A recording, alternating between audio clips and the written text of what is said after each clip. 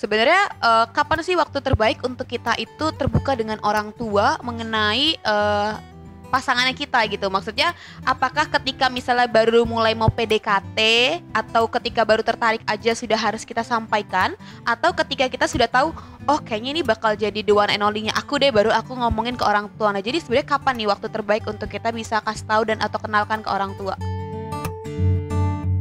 Cie.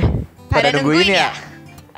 Oke, nah pasti pada nungguin banget nih, apalagi episode kemarin itu seru banget gak sih? Pastinya itu seru banget. Nah, kok kita nih masih apa ya penasaran banget nih sama kehidupan dari pasangan ini dong Hmm, pastinya. Tentunya. Eh, eh, kita mau nanya nih kok. Eh, waktu Koko dulu pertama kali nyatakan cinta ke C Dewi itu gimana kok? Kalau dulu waktu nyatain cinta ya mungkin agak konyol juga sih. Hmm. Pakai pantun dulu. Wah, Wow. kalau boleh tahu gimana tuh gimana gimana? Mahal ini, mahal. Oke, oke. mahal tapi receh.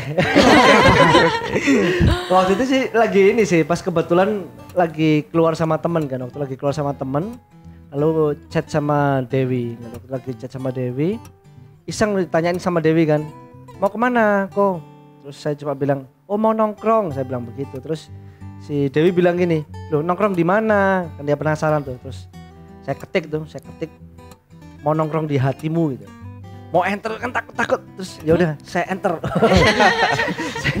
saya Bukan send kamu kirim itu loh emo itu loh. oh Emo ya, saya yang salah ternyata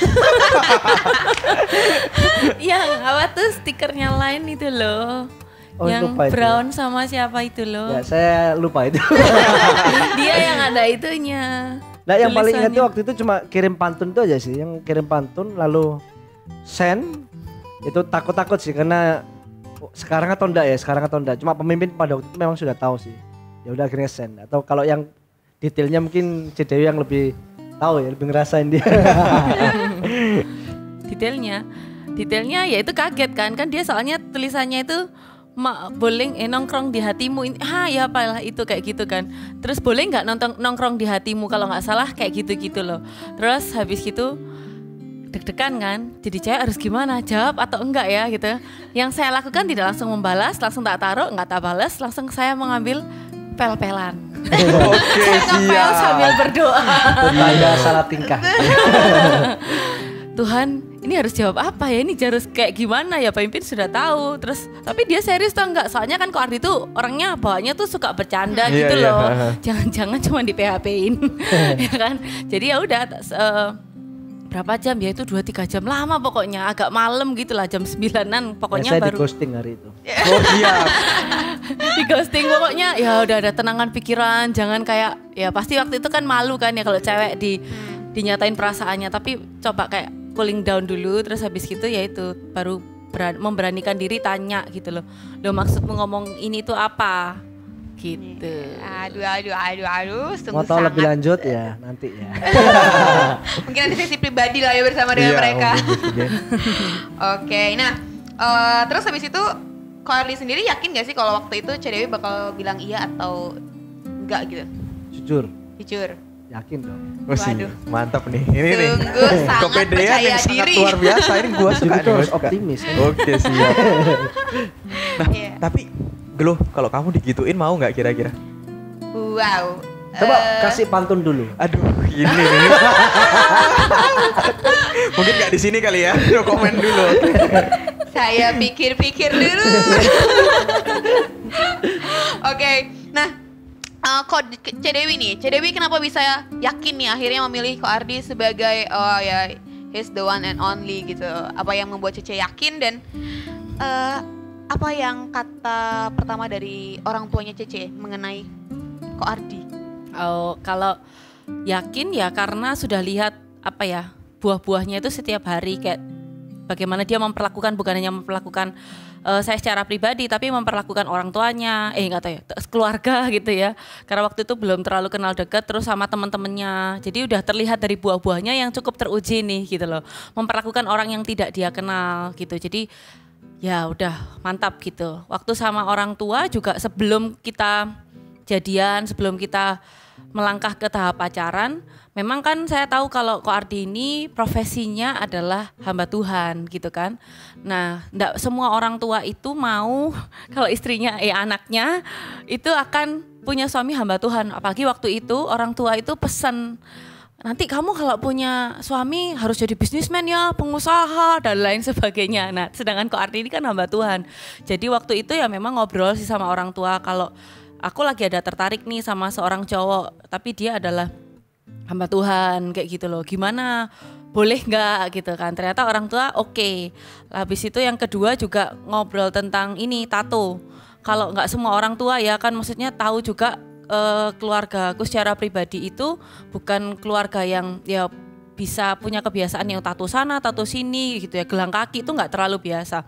Terus habis gitu ngobrol, oh ya Mi kalau Ko Ardi ini ada tatonya gitu kan, tatonya itu kelihatan gitu kan di tangan, di sini. Terus habis gitu ya ternyata orang tua bilang, oh itu kapan tatonya? Ya dulu sih sebelum kenal Tuhan, sebelum bertobat gitu oh ya nggak apa-apa itu kan masa lalu gitu jadi ya oh ternyata oke okay ya kayak gitu hmm. jadi ya puji Tuhan mantap orang tua kasih lampu hijau asik oke okay, okay. Yuk, kalau gini kok misal waktu pertama kali nih ketemu dengan orang tua dari C Dewi ya.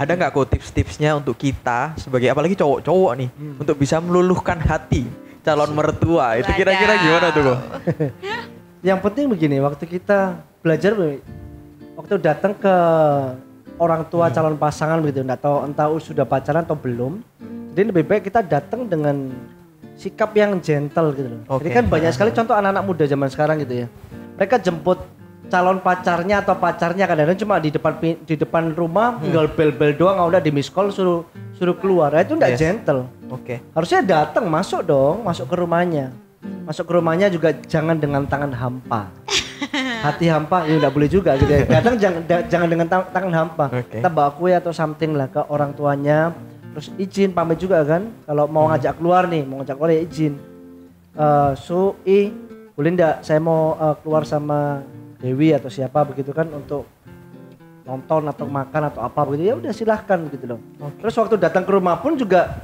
jangan kikuk gitu loh. Jadi ya apa adanya yang ngobrol, ramah, sikapnya kita itu attitude-nya kita benar-benar harus dijaga sih. Hmm. Supaya itu kan kesan, kesan. Iya, iya. Jadi pada waktu kesan pertama orang tua lihat, wah anak ini good ya, anak ini baik ya, sikapnya oke. Okay.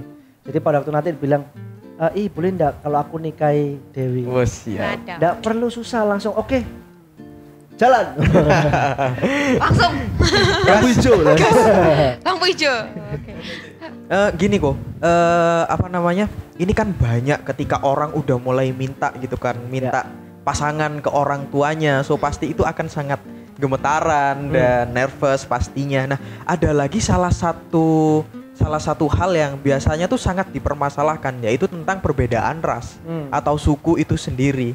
Nah kalau C Dewi dan Ko Ardi untuk menyikapi ini tuh gimana? Lebih Ko Ardi aja ya.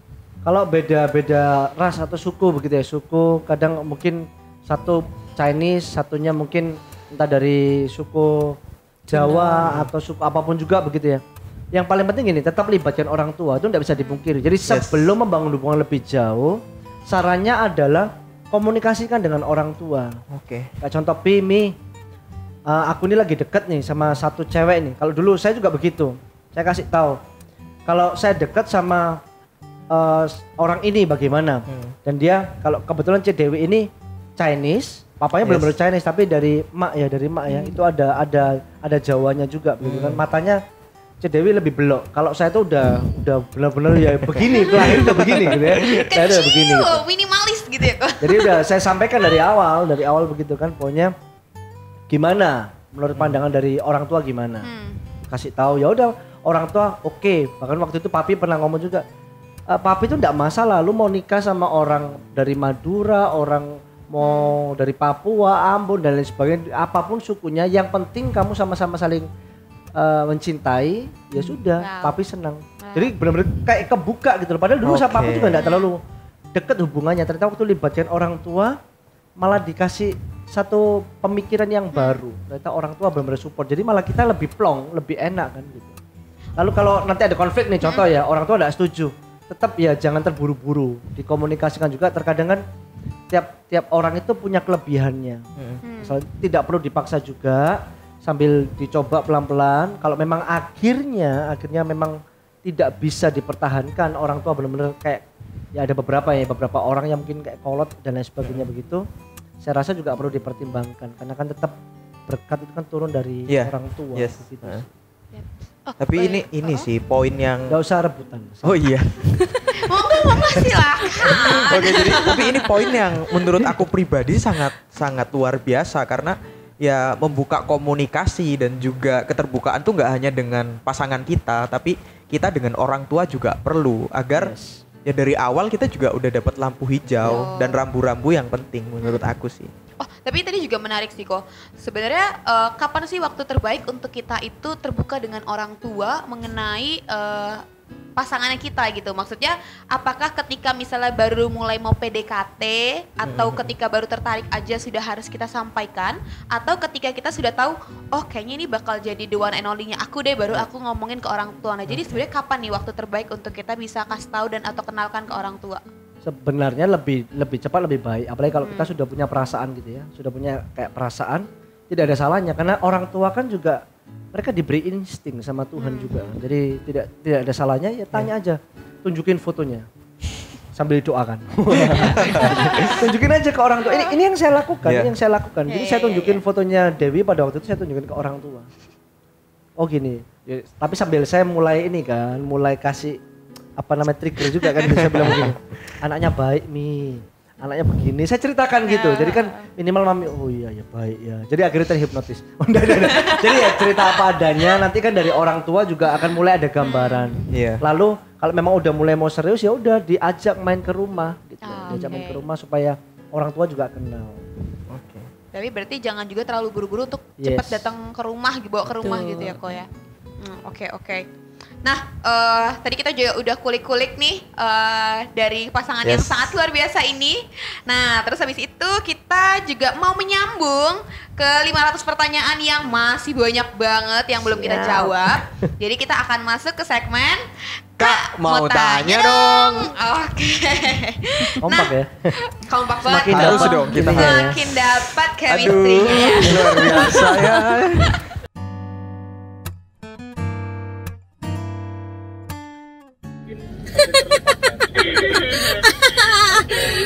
Astaga, ya ampun. Ini loh foto ini loh. itu itu foto waktu keren-kerennya tuh